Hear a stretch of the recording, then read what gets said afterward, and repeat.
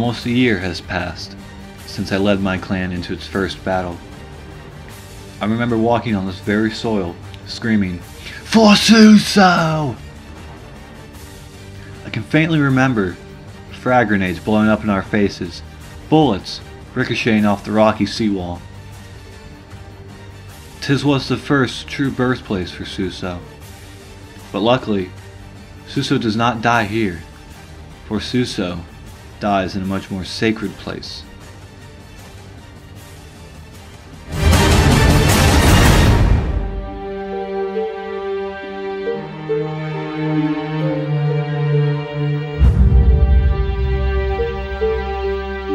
This place brings back the most painful memory in all of Suso. Our first defeat as a clan. Partly my fault, you see. It was 48 to 47. Suso is up by one. I accidentally stick Suso killer in the process. I commit suicide. Bring the score 47 to 46. Suso's down by one.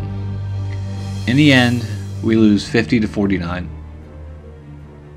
But this place, too, is not where the Suso legacy will perish. No, no.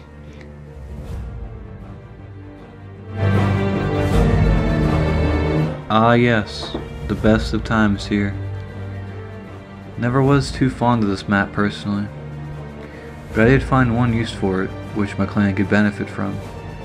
Two words clan photos. Over four months ago, were shot here. Ready! Aim!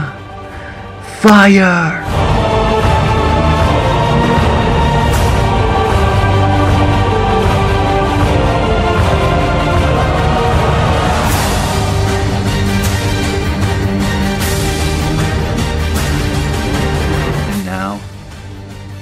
Must leave you.